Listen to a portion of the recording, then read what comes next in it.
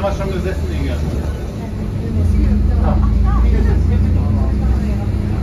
Ich würde sagen, ich habe die Stimme doch gehabt.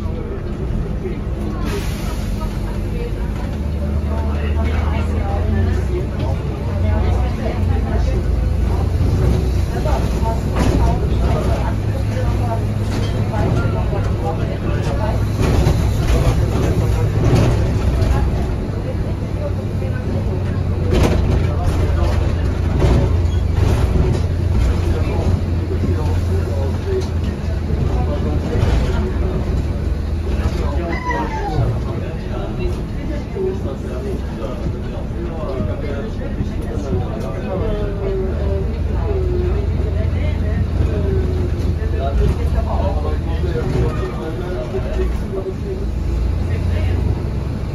you.